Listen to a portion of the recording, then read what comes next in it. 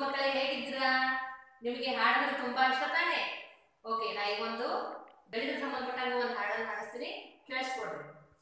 ಡೊಳ್ಳು ಹೊಟ್ಟೆ ರಂಗಪ್ಪ, ತಂದ ಒಂದು ಹಣ್ಣನ್ನ ಮಾಡಿದ ಎರಡು ಭಾಗಣ್ಣ, ತಿಂದ ಒಂದು ಭಾಗಣ್ಣ. ಡೊಳ್ಳು ಹೊಟ್ಟೆ ರಂಗಪ್ಪ, ತಂದ ಒಂದು ಹಣ್ಣಣ್ಣ ಮಾಡಿದ ಎರಡು ಭಾಗಣ್ಣ. ತಿಂದ ಒಂದು ಹಣ್ಣನ್ನ. ಈ ಹಾಡಿನ ಮೂಲಕ ಏನ್ ತಿಳ್ಕೊಂಡಿರಪ್ಪ ಅಂತಂದ್ರೆ ನೀವು ಒಂದು ಪೂರ್ಣವಾದ ವಸ್ತು. ಆ ವಸ್ತುವಿನಲ್ಲಿ ಏನ್ ಮಾಡಿದವ ಎರಡು ಭಾಗ ಮಾಡಿದ ಆ ಎರಡು ಭಾಗದಲ್ಲಿ ಒಂದು ಭಾಗ ತಿಂದ. ಇದನ್ನ ಗಣಿತದಲ್ಲಿ ಹೆಂಗ್ ಬರ್ತಿಪ್ಪ ಅಂತಂದ್ರ, ಅಂದ್ರೆ ಈ ಒಂದು ಪೂರ್ತಿ ವಸ್ತು, ಈ ವಸ್ತುವಿನಲ್ಲಿ ಏನ್ ಮಾಡಿದ ಅಂದ್ರ ಎರಡು ಭಾಗ ಮಾಡಿದ. ಆ ಎರಡು ಭಾಗದಲ್ಲಿ ಒಂದು ಭಾಗವನ್ನ ತಿಂದ. ಇದನ್ನ ಗಣಿತದಲ್ಲಿ ನಾವು ಮಾಡ್ತೀವಿ ಅಂದ್ರೆ ಎರಡನೇ ಒಂದು ಭಾಗ ಅಂತ ಹೇಳಿ ನಾವು ಮಾಡ್ತೀವಿ ಕರಿತೀವಿ. ಅಂದ್ರೆ ಒಂದು ಭಾಗವನ್ನು ಅವನ್ನ ತಿಂದ. ಹೀಗೆ ಒಂದು ವಸ್ತುವಿನಲ್ಲಿ ಮಾಡುವಂತಹ ಹಲವಾರು ಭಾಗಗಳನ್ನು ಮಾಡುದು. ಇದು ಒಂದು ಎಲೆ. ಈ ಎಲೆಯನ್ನು ನಾ ಏನ್ ಮಾಡಿದ ಅಂದ್ರೆ ಮೂರು ಭಾಗ ಮಾಡಿದ್ದೀನಿ. ಒಂದು, ಎರಡು, ಮೂರು.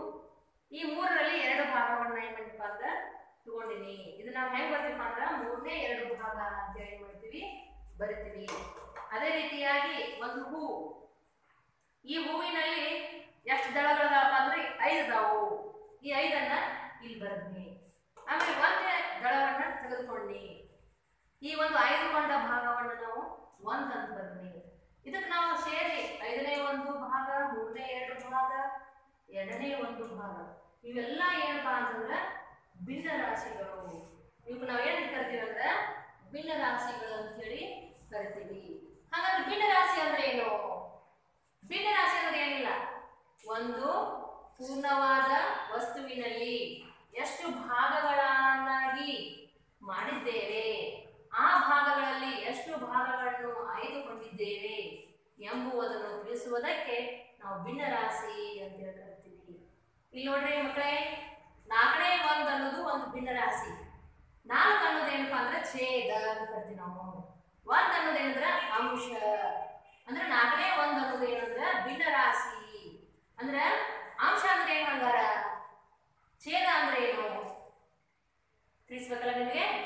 ಛೇದ ಅಂದ್ರ ಮಾಡಿದ ಭಾಗ. ಅಂದ್ರೆ ಇಲ್ಲಿ ಒಂದು ನಿಂಬೆಹಣ್ಣು ಐತಿ ಇದ್ರಲ್ಲಿ ಎಷ್ಟು ಭಾಗ ಮಾಡ್ತೀವಿ ಅಂದ್ರೆ ನಾವು ನಾಲ್ಕು ಭಾಗ ಮಾಡಿದೀವಿ. ಅದಕ್ಕೆ ನಾವು ನಾಲ್ಕು ಭಾಗ ಅಂದ್ರೆ ಇಲ್ಲಿ ನಾಲ್ಕು ಅಂತ ಬರ್ತೀವಿ ಇದ್ರಲ್ಲಿ ಎಷ್ಟು ಭಾಗ ತೆಗೆದುಕೊಂಡಿಪ್ಪ ಅಂದ್ರೆ ಒಂದು ಭಾಗವನ್ನ ತಿಂದಿವಿ ಇದಕ್ಕೆ ನಾವು ನಾಲ್ಕನೇ ಒಂದು ಅಂತ ಕರಿತೀವಿ. ಹಂಗ ಛೇದ ಅಂದ್ರೆ ಏನಪ್ಪಾ ಅಂದ್ರೆ ಮಾಡಿದ ಭಾಗಗಳ ಸಂಖ್ಯೆ. ಅಂಶ ಅಂದ್ರೆ ಏನು? ನಾವು ತೆಗೆದುಕೊಂಡಂತ, ಆರಿಸಿಕೊಂಡಂತ ಭಾಗವನ್ನು ತೋರಿಸೋದು ಯಾವ್ದಪ್ಪ ಅಂದ್ರೆ ಅಂಶ. ಹೀಗೆ, ಮಕ್ಕಳೇ, ನೀವೆಲ್ಲರೂ ಹೆಂಗ ಭಿನ್ನಾಶೆ ಹೆಂಗ ಓದುವ ಕ್ರಮ ಹೆಂಗ ಅಂತಂದ್ರೆ ನಾಲ್ಕನೇ ಒಂದು ಭಾಗ ಅಂತ ಓದ್ಬೇಕು, ಐದನೇ ಒಂದು ಭಾಗ ಅಂತ ಓದ್ಬೇಕು, ಮೂರನೇ ಎರಡು ಅಂತ ಓದ್ಬೇಕು, ಆಮೇಲೆ ಎರಡನೇ ಒಂದು ಅಂತ ಹೇಳಿ ಓದ್ಬೇಕು ಇದು ಏನಪ್ಪಾ ಅಂದ್ರೆ ಓದುವ ಕ್ರಮ. ಈಗ ನಿಮಗೆ ಅಧ್ಯಾಯ ಏಳು ಭಿನ್ನ ರಾಶಿಗಳು ಅಂತಕ್ಕಂಥ ಪಾಠದಲ್ಲಿ ಏಳು ಬಿಂದು ಒಂದು ಅಭ್ಯಾಸದಲ್ಲಿ ಬರ್ತಕ್ಕಂಥ ಅಭ್ಯಾಸಗಳು ಬಣ್ಣ ತುಂಬಿದ ಭಾಗಗಳನ್ನು ಭಿನ್ನ ರಾಶಿಯಾಗಿ ಬರೆಯುವುದು. ಇದು ಹೆಂಗ್ ಬರೀತು ನೋಡಿ, ಇದೊಂದು ಪೂರ್ಣವಾದ ವಸ್ತು.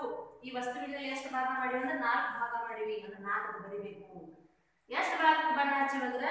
ಒಂದು, ಎರಡು. ಎರಡು ಭಾಗಕ್ಕೆ ಬಣ್ಣ ಹಚ್ಚಿವಿ ಅಂದ್ರೆ ಇದು ನಾಲ್ಕನೇ ಎರಡು. ಅದೇ ರೀತಿಯಾಗಿ ನಮ್ಮ ತ್ರಿಭುಜ ಇದೆ. ಈ ತ್ರಿಭುಜವನ್ನು ಎಷ್ಟು ಭಾಗ ಮಾಡಿವಿ ಅಂದ್ರೆ ನಾವು? ಒಂದ್, ಎರಡು, ಮೂರು, ನಾಲ್ಕು. ನಾಲ್ಕು ಭಾಗಗಳನ್ನ ಏನ್ ಮಾಡಿದೀವಿ? ಎಷ್ಟು ಎಷ್ಟು ಭಾಗಕ್ಕೆ ಎಷ್ಟು ಭಾಗಕ್ಕೆ ಬಣ್ಣ ಹಾಕಿವಿ ಅಂದ್ರೆ? ಒಂದು ಭಾಗಕ್ಕೆ. ಅಂದ್ರೆ ಇದನ್ನ ನಾಲ್ಕನೇ ಒಂದು ಅಂತ ಹೇಳಿ ಹೇಳ್ತೀವಿ. ಅದೇ ರೀತಿ, ಅದೇ ರೀತಿಯಾಗಿ ಏಳು ಪಾಯಿಂಟ್ ಒಂದರಲ್ಲಿ ಬರ್ತಕ್ಕಂಥ ಎರಡನೇ ಪ್ರಶ್ನೆ ಅಭ್ಯಾಸದ ಭಿನ್ನ ರಾಶಿಗಳ ಅನುಗುಣವಾಗಿ ಭಾಗಗಳಿಗೆ ಬಣ್ಣ ತುಂಬುವುದು. ಈಗ ನಾಲ್ಕನೇ ಮೂರ್ ಅಂತಕ್ಕಂಥ ಒಂದು ಭಿನ್ನ ರಾಶಿ ಇಲ್ಲಿ ಒಂದ್, ಎರಡ್, ಮೂರ್, ನಾಲ್ಕು ಭಾಗದವ ಎಷ್ಟು ಭಾಗಕ್ಕೆ ನಾವು ಬಣ್ಣ ತುಂಬಬೇಕಂದ್ರೆ ಮೂರು ಭಾಗಕ್ಕೆ ನಾವು ಏನ್ ಮಾಡಬೇಕು? ಬಣ್ಣವನ್ನ ತುಂಬಬೇಕು.